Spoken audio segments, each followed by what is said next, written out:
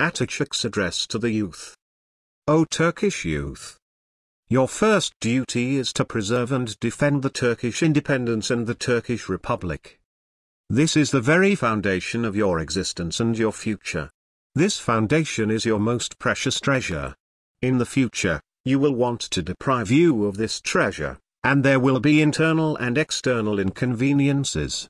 One day, if you fall under the obligation to defend the independence and the republic, you will not think of the possibility and the situation of the situation in which you will be in order to embark on duty. This possibility and schema can manifest in a very honorable nature. Independence and the Republic's enemies, the world could be representative of an unprecedented victory in the world. With the de facto and cheating, the fortresses of the saintly homeland were conquered, all their shipyards were entered, all its armies were dispersed and every corner of the country could be occupied.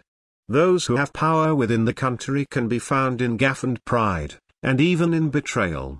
In fact, these power holders are entitled to settle their personal interests with the political ambitions of their fathers.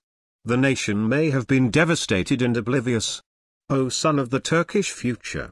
Here, this task and even in the case of the task is to save the Turkish independence and the Republic. The strength you need in the noble blood in your veins,